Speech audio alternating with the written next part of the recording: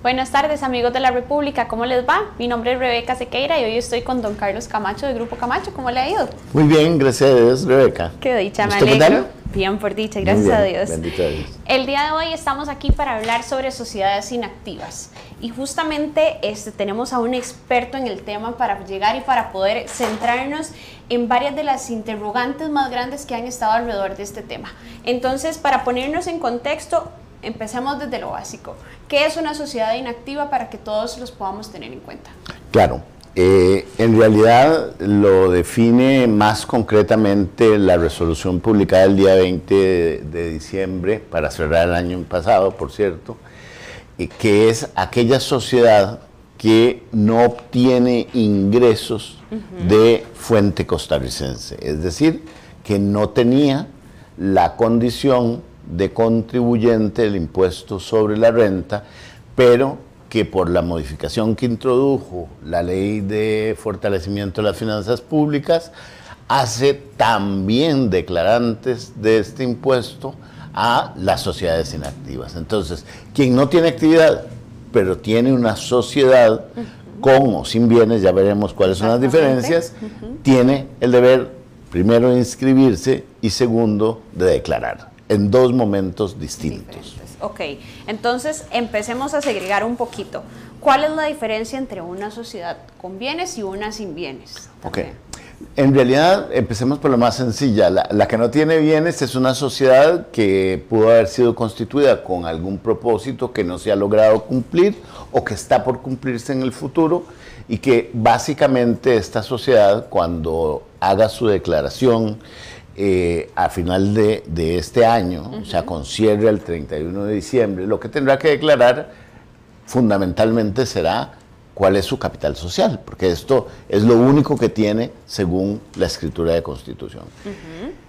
Las sociedades con bienes son aquellas que por una usanza en Costa Rica se había recomendado por parte principalmente de los abogados para protección de activos, en algunos casos inclusive antes de las modificaciones introducidas en el año 2012 al impuesto de traspaso, para evitarse el impuesto de traspaso y a fin de proteger los activos de, de cualquier tipo de demandas eventuales, se colocaban los bienes valiosos, una casa, un edificio, se colocaban en sociedades. Podía también tener una cuenta ya sea en Costa Rica o fuera de Costa Rica, pero lo importante es que estas sociedades no tenían estos bienes como el resultado de su operación de una actividad, sino que los tenían como la cajita de guardar bienes del dueño de la sociedad. Y entonces esta es precisamente la situación que hace que se activara el tema de las sociedades inactivas. ¿Qué pasa si yo tengo bienes en ellas y resulta que no puedo explicar de dónde salieron? Antes de entrar en ese detalle, que es uno de los más importantes que también vamos a conversar el día de hoy, este, hay un tema que ha generado bastante confusión, que es el tema de si yo tengo una sociedad inactiva, este, tengo que declararla, si no la tengo, tengo que declarar, qué tengo que hacer, y eso se me pierde un poquitito con el tema y se me, se me le enreda a la gente. Y a, verdad, el tema del registro de accionistas, ¿verdad? Que son dos cosas totalmente diferentes que hay que aprender a que se tienen que manejar por aparte. Entonces también expliquémosle a la gente cuáles son los conceptos de, ambos, de ambas cosas. Claro, con mucho gusto. Quizá la confusión nace o surgió por una razón histórica, que fue la coincidencia de fechas que en primera instancia había para presentar el registro de accionistas el 31 de enero pasado y la primera fecha para registrar las sociedades. inactivas que terminaran su cédula jurídica en 0 y 1. Entonces, esto fue lo que dio pie a eventuales confusiones. Pero son dos deberes total y completamente autónomos y uno, por tanto, no excluye el cumplimiento del otro.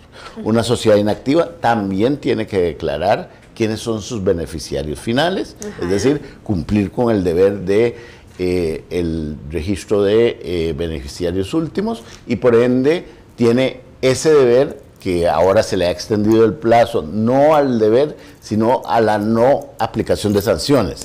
el plazo sigue siendo el mismo, nada más que en los siguientes 60 días eh, no hay sanciones para quien incumpla el deber de presentar el registro de accionistas. El registro de accionistas. Ok, ahora hablando del tema, digamos, de que mencionamos ahorita de, de, de, consecuencias que se podrían tener. ¿Cuáles son las consecuencias que nosotros tenemos si no presentamos una declaración de sociedad inactiva? Ok, eh, tenemos varias posibles consecuencias dependiendo de cada caso. Eh, lo primero que tenemos que separar antes de hablar de la presentación de la declaración en sí es el deber formal que tienen que cumplir todas las sociedades inactivas, aquellas que acabamos de definir, en las fechas que determina el calendario de inscripción. Esto es lo que conocemos como el deber formal de inscribirse. Y esto termina en el mes de mayo. Es decir, de dos en dos por números finales de cédula jurídica, van venciendo los plazos para la inscripción. Eso se conoce como deber formal. Si yo incumplo con eso, hay una sanción de multa. Esa sanción de multa va a crecer conforme pase el tiempo en el que yo me demore en el cumplimiento de esa inscripción, pero no tiene una consecuencia de carácter monetario por una determinación de un impuesto en sí mismo, sino más bien por el incumplimiento es como saltarse una luz de semáforo, o sea, es una sanción, pero no, no tienes que pagar nada por aquello. Lo otro que también se ha dado en confundir es el hecho de cuándo me toca declarar entonces. Y esto es igual para todas las sociedades con independencia cuándo les tocó inscribirse. Todas las sociedades que estén registradas al 31 de diciembre del año 2020 tendrán el deber de presentar su declaración y en realidad lo que está declarando es una declaración de patrimonio. Si bien es cierto, por algunas aclaraciones que pudieron más bien confundir que aclarar, Tributación sacó en su eh, página de Facebook, que ahora hay que seguirla porque resulta que es también una fuente, de eh, carácter oficial de un derecho muy precario, pero finalmente eh, derecho al fin. Eh, se indicó que de no salir el formulario que estaba previsto en la resolución, un formulario número de 135, se iba a presentar en el formulario de la declaración de renta. Pero en realidad lo que estamos declarando es el patrimonio de la sociedad. Y entonces, ¿qué es el patrimonio? Exactamente. El patrimonio son los bienes y derechos que tiene una sociedad menos las deudas que sobre dichos bienes y derechos recaigan. Por tanto, es la diferencia. Esa diferencia es lo que contablemente entendemos como patrimonio y lo que llega a ser la cuestión de interés para la administración tributaria. ¿Y por qué el interés? El interés es conocer cuál fue la fuente que dio origen a ese patrimonio. Veamos ahora en conjunto las dos obligaciones. Tengo un registro de accionistas que dice que Rebeca es la dueña de las acciones de la sociedad 301 algo y resulta que Rebeca no tiene un mecanismo legal de comprobación de dónde obtuvo los recursos para tener un bien inmueble de alto o bajo valor, pero simplemente no corresponde a sus declaraciones de renta o al pago de sus tributos la tenencia de aquel bien. Entonces, esa diferencia es lo que es objeto de interés para el fisco.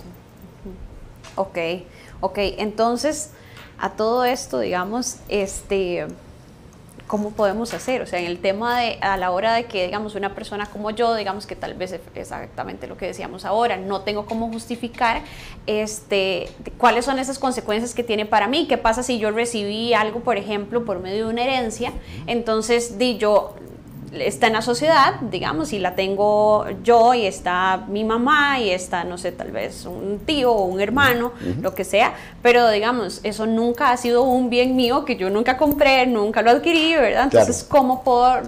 ¿Cómo me de eso? yo, tengo, yo tengo que justificar. Entonces, justificar es poder documentar apropiadamente, es decir, aportar prueba que sea válida en derecho. No es únicamente decir cuál es la fuente, eso lo dice cualquiera. El tema es cómo lo pruebo. ¿Cómo lo pruebo? Entonces, en el caso de un ejemplo de herencia, el problema que vamos a tener es si aquella herencia fue de las típicas herencias que en realidad no se llaman así legalmente, sino que se llaman donaciones, porque hemos oído muchos el término de he heredado en vida a mis hijos, por ejemplo. Y entonces, eso en realidad es una donación, lo que ocurre es que no dejé ninguna constancia.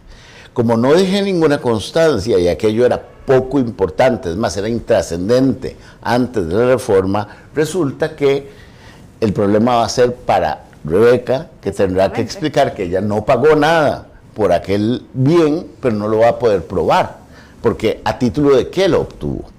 Y aquí tenemos que entender a dónde es que se vincula registro de accionistas de nuevo con las sociedades inactivas. Pensemos que el segundo lector del registro de accionistas es precisamente el ICD, el Instituto Costarricense contra las Drogas, ¿verdad? El motivo por el cual es únicamente tributación y el ICD quien puede acceder a la información del registro de accionistas es porque el interés del ICD es determinar la licitud de los fondos que dieron origen a la tenencia de esa finca, de ese bien que usted tiene en esa sociedad. Parte de los procesos que se van a iniciar a partir de, la transparencia fiscal es precisamente determinar si a nombre de sociedades costarricenses hay bienes que eventualmente sean resultado de el lavado internacional de activos. El interés de tributación no es ese, ese es el del ICD. El interés de tributación es grabar las diferencias que Rebeca y su familia no puedan explicar a través de medios de prueba. Y esto va a ser difícil. Va a ser difícil porque probablemente el abuelo, que fue el que eh, les regaló aquella finca, pues eh, ya se murió. No tenemos manera de reconstruir los documentos que dieron origen a esa transacción y vamos a tener un asunto de carácter probatorio. Esta diferencia entre lo que yo puedo probar y lo que tengo en mi haber de la compañía, va a ser la base sobre la cual tributación puede grabar como si fuera un ingreso grabable ese patrimonio. Y ahí está verdaderamente el meollo del asunto. Cuando aplicamos un artículo de la ley de impuestos sobre la renta, que es el artículo 5, junto con el artículo 8 bis del reglamento, que indican que los incrementos patrimoniales no justificados se tratan como renta grabable, termina convirtiéndose lo que no puedo explicar en algo que tiene que pagar un 30% de impuestos. Entonces, uno de los grandes retos que tenemos todos los que tenemos sociedades inactivas es empezar a buscar documentación sustento. Si no la encontramos, nos estamos exponiendo precisamente a tener que enfrentar el pago de 30% sobre aquellos valores que tengamos en la sociedad y que no se pudieron demostrar.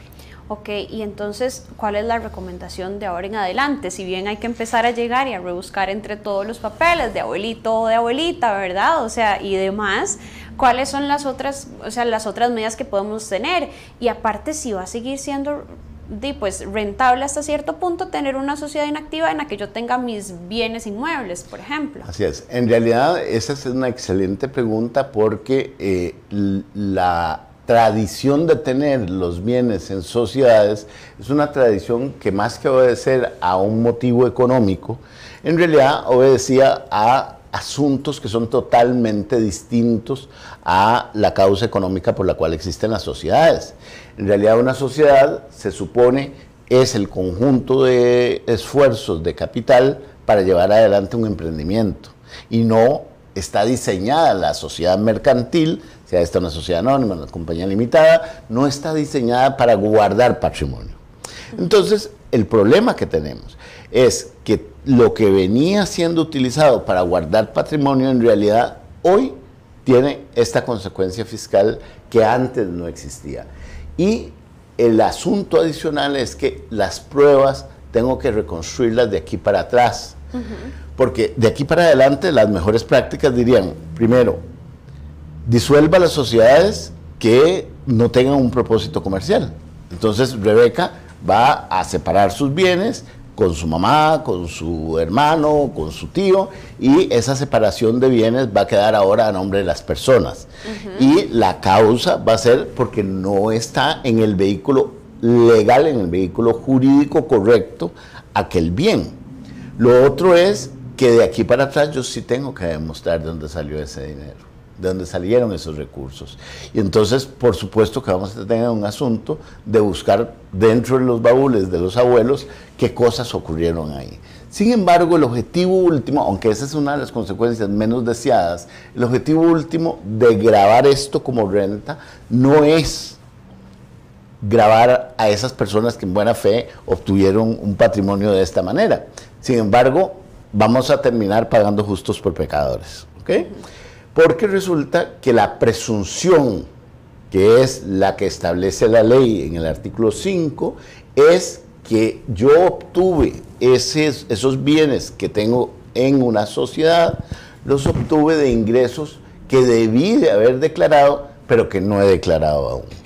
Entonces, mi prueba en sentido contrario va a tener que construirse a partir de mis declaraciones fiscales, a partir de poder justificar que aquello es el resultado de un acto que estaba exento, como lo son las, las eh, herencias y las donaciones, pero las herencias y las donaciones tienen en el ámbito del derecho una serie de requisitos formales. Entonces, para poder hacer una donación, yo necesito presentarme ante un notario público para poder documentar ese acto jurídico que conocemos como donación y por tanto debe ser este el elemento probatorio.